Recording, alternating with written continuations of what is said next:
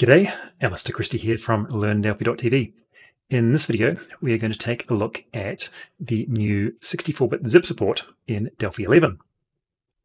So I'll just start with a new VCL application, and we'll throw a button on the form.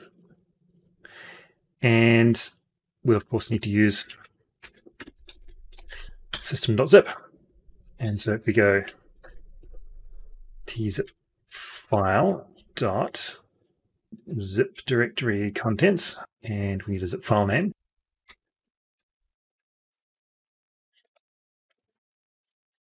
Something like that. And we also need a path. So um, let's load up WinDIS, WinDirStat or Windows stat loaded up here, and I found a reasonable, reasonably large file, which is a VM for Libre NMS. So I will just, uh, in copy path and paste that in there. And actually, we'll just digress a little bit as well. Um, throw system diagnostics in there, and we'll get a new stopwatch. Dot, dot start new and message.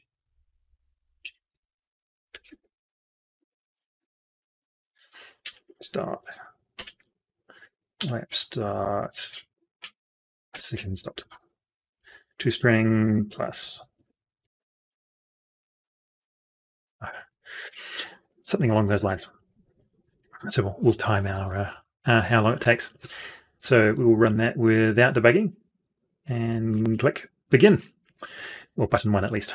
Uh, so if we have a look at my task manager, uh, we should see it looks like executing on uh, my CPU2, and um, yeah, it's maxing out. It's only uh, single threaded, so yeah, we can only take advantage of a, a small uh, portion of my CPU, and uh, from E, so we can see that it's transferring 20, 20 30 megabytes a second, something along those lines.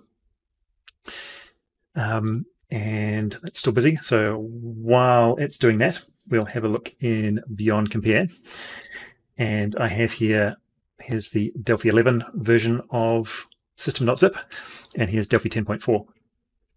So if we start scrolling down, we'll see that we've got a zip 64 uh, header edit, so it's a file header, and the central header, 64-bit central header, and um, and so on. Uh, oh, extra header, that's new as well. That's cool. Um, and yeah, there's a bunch of extra methods on that. But also,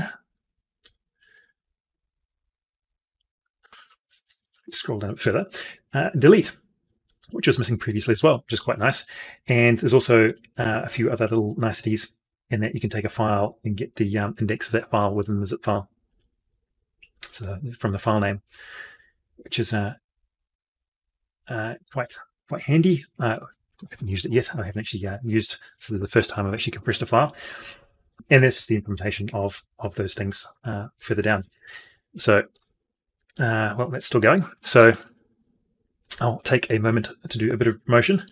I have oops, a video on Embarcadero Academy on zip compression in Delphi. I've been procrastinating on this quite a lot, but uh, it's still early access at the moment for $15. And there's about three hours of content on there so far. I've got quite a bit more to do, but uh, covering most of most of zip file at, at the moment, but I've still got to do um, like zip streams and that, that sort of stuff, uh, and a bit of discussion of Abbrevia and a few other bits and pieces.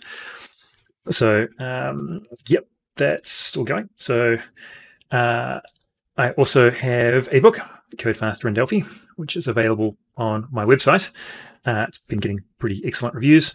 Uh, it's quite short, it's only 160 pages, but it will make you significantly more productive uh, with using the Delphi IDE. And it's available on Lean, Leanpub and Amazon.com. So if you want the electronic or uh, physical copy. Oh, and uh, done in three seconds. I think something went wrong there. Anyhow, uh, it completed. So let's have a look at that zip file. And we can see that it has indeed compressed and we can have a look and see that the file size is indeed six gigabytes thereabouts. So I think this is a massive improvement to the system.zip having 64-bit support because you know, zip files I've I've I've hit, hit the uh, four gigabyte limit in a few projects. Um, one was just you know creating daily log files that were uh, uh, more than more. Than, I think I think it might have had a it might be a two gigabyte limit on the actual file in some fashion. But anyway, so yeah, I'm not sure why that uh, didn't like didn't like that. But anyway, um, the other thing it does doesn't support encryption. Says it passwords.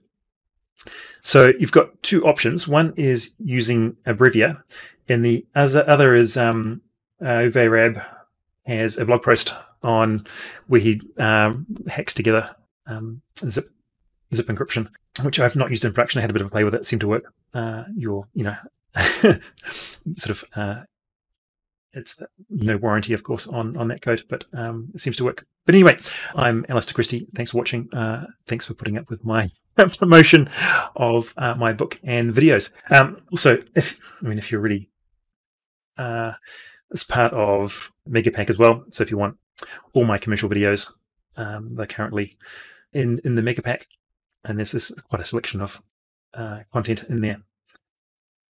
So thanks for watching. I'm Alister Christie. I will catch you in the next video.